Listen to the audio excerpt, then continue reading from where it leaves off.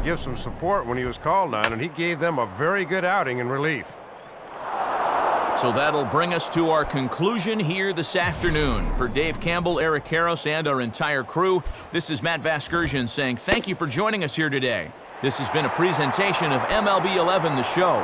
For more, log on to theshownation.com. The Cardinals win it 3 to 1.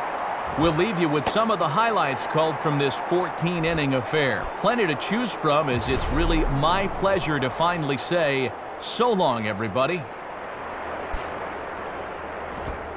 Our final lights for this afternoon.